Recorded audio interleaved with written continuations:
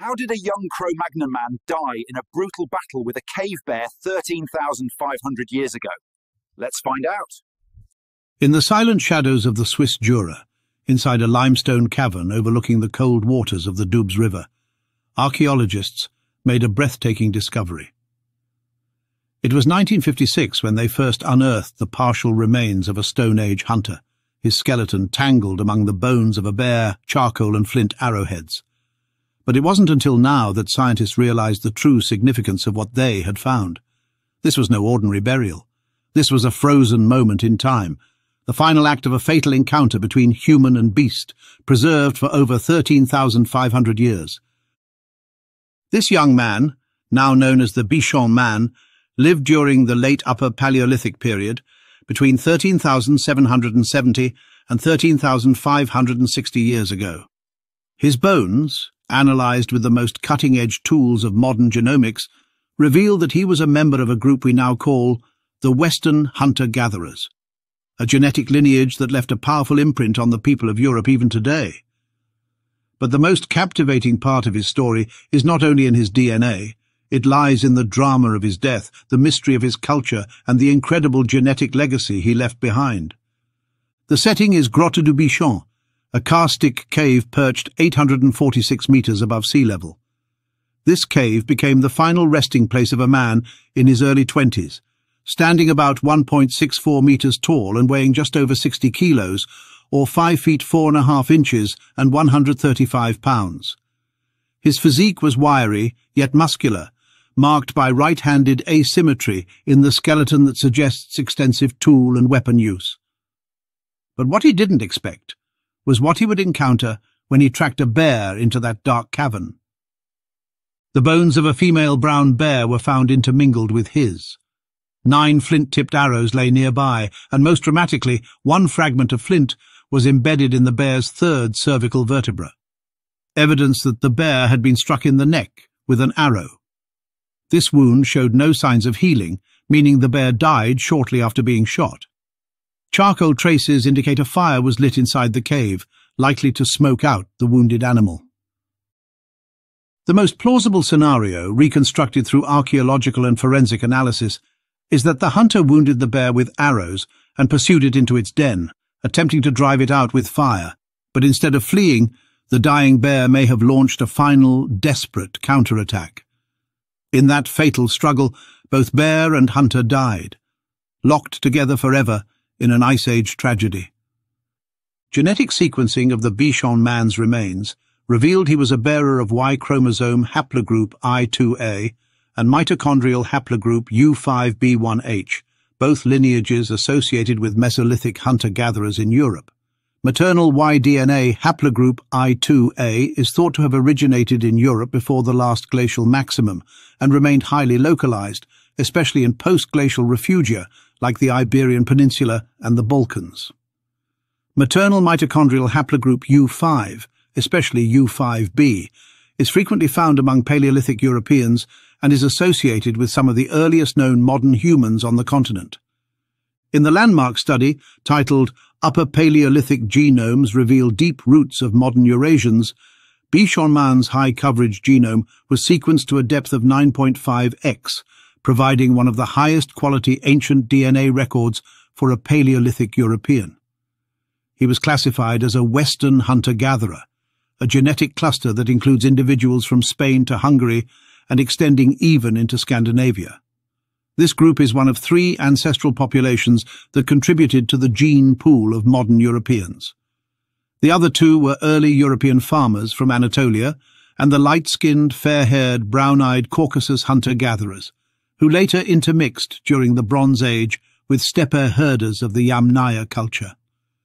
The Western hunter-gatherers had survived the last glacial maximum by retreating into southern European refugia, likely Iberia and southern France, and then expanded back into Central and Northern Europe as the climate warmed. Their distinct genome appears to have undergone little admixture for thousands of years, suggesting a prolonged period of isolation and continuity.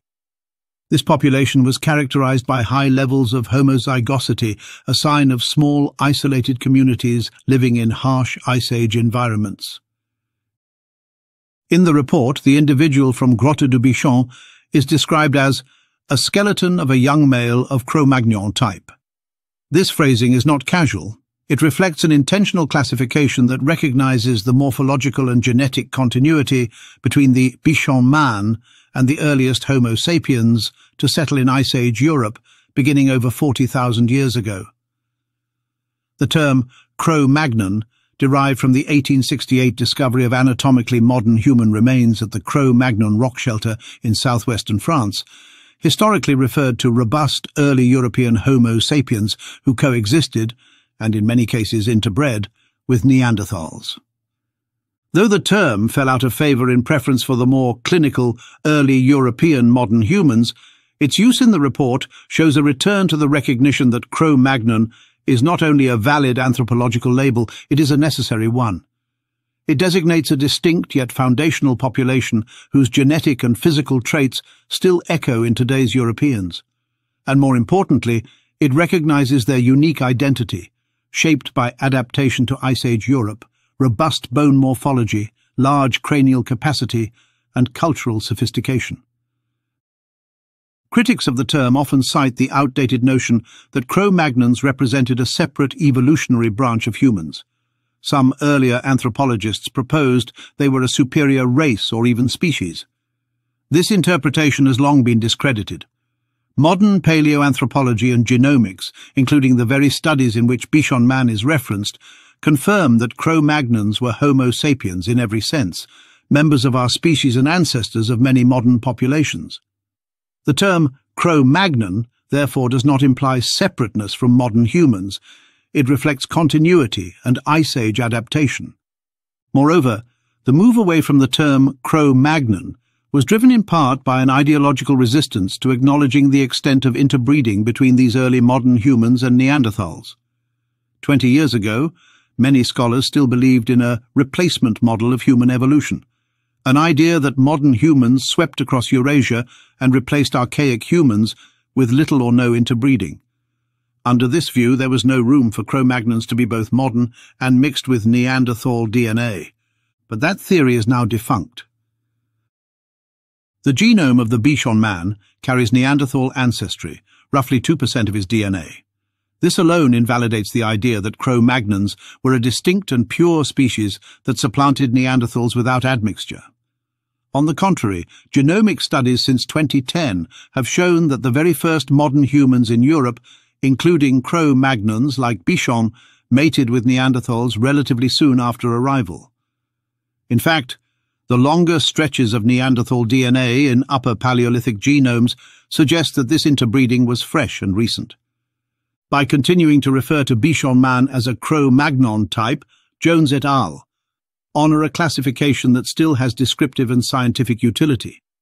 It allows paleoanthropologists to distinguish between early Homo sapiens in Europe, who lived in Ice Age conditions, made Aurignacian and Gravettian tools, painted caves and hunted mammoths, and later populations that developed agriculture, lived in sedentary villages, and descended from Anatolian or steppe herders. It anchors these early Europeans in a coherent biological and cultural identity, one that has shaped the genetic landscape of Europe to this day. Those who sought to discard the term Cro-Magnon failed to anticipate the richness of genetic data that would emerge. Their rigid commitment to a non-interbreeding model of speciation between Neanderthals and modern humans not only underestimated the complexity of human evolution, it obscured the very real and measurable legacy of hybridization that defines us. Bichon man like his Cro-Magnon forebears and contemporaries, including Tagliente man, who lived around 17,000 years ago in northern Italy, was not an isolated branch. He was part of a braided stream of human history, where early modern humans adapted, interbred, thrived, and laid the foundations of our genetic heritage. Calling him Cro-Magnon is not only scientifically accurate, it is an acknowledgement of who we are. Phenotypically, the Bichon man likely had intermediate skin and blue eyes, like modern Sicilians, in contrast to northern Europeans. This combination, seen in other Mesolithic individuals such as La Braña from Spain and Loschbour from Luxembourg, was once common among Western hunter-gatherer populations. The intermediate skin tone was due to the lack of the derived allele in the SLC24A5 gene, which only later became common with the arrival of Neolithic farmers from the Near East. However, Bichon man possessed the derived allele of the HERC2 OCA2 complex, associated with lighter eye color, possibly blue or hazel. Stable isotope analysis suggests Bichon man had a largely carnivorous diet. His nitrogen isotope values are elevated, typical of Ice Age European hunter-gatherers who relied heavily on red meat and freshwater fish. There is no indication of cereal or dairy consumption, which only became common thousands of years later with the Neolithic transition. Archaeologically, Bichon Man is associated with the Azilian culture, a post-Magdalenian hunter-gatherer tradition that emerged after the peak of the last glacial maximum. The Azilian people continued the cave art traditions of their Magdalenian predecessors, but their portable art was less elaborate, often reduced to stylized geometric patterns and painted pebbles. Their toolkit was characterized by microliths and bone harpoons, used for hunting in forested environments that replaced the former steppe tundra as the glaciers receded. Azilian sites span from Spain to Switzerland and southern Germany, and they reflect a cultural shift toward more regional identities and adaptations to warming climates.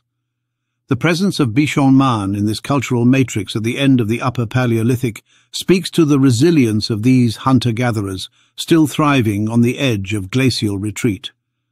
What makes the Bichon Man such an extraordinary find isn't just the drama of his death or the pristine condition of his bones. It's the combination of cultural, forensic, and genomic data all converging in one site. He is one of the best preserved and best sequenced Upper Paleolithic individuals in all of Europe. His genome has served as a cornerstone for modelling the ancestry of Western Europeans, particularly the deep genetic roots that predate agriculture, writing and metal. Moreover, the forensic reconstruction of his death paints one of the most vivid personal stories ever unearthed from prehistory. Unlike most burials, which leave us with questions about cause of death, this scene is frozen in clarity, a hunter who pursued a wounded bear into its lair, set a fire to drive it out, and died in the ensuing struggle. This is not just prehistory. It is a human story. His genome also reminds us that the Western hunter-gatherers were not a fringe population. They were strong, enduring, and foundational to what we now call European. Their DNA survives in all modern Europeans, particularly in the north and west. In fact, the Western hunter-gatherer contribution is particularly high in populations such as the Basques and Scandinavians. This genetic endurance suggests not just survival, but assimilation. When farmers from Anatolia and herders from the steppe arrived, they did not erase the Western hunter-gatherer. They merged with them, shaped by generations of contact and marriage. The Bichon man died a violent and intimate death. But in doing so, he entered the record of human history as one of its most compelling figures. His struggle with the bear is a snapshot of Ice Age life, of bravery, hunger, desperation and danger. Yet his DNA tells a far larger story, the shaping of the modern European genome from the fusion of Paleolithic survivors and later waves of migration. Grotte du Bichon, that quiet cave above the Doubs River, has given us more than bones.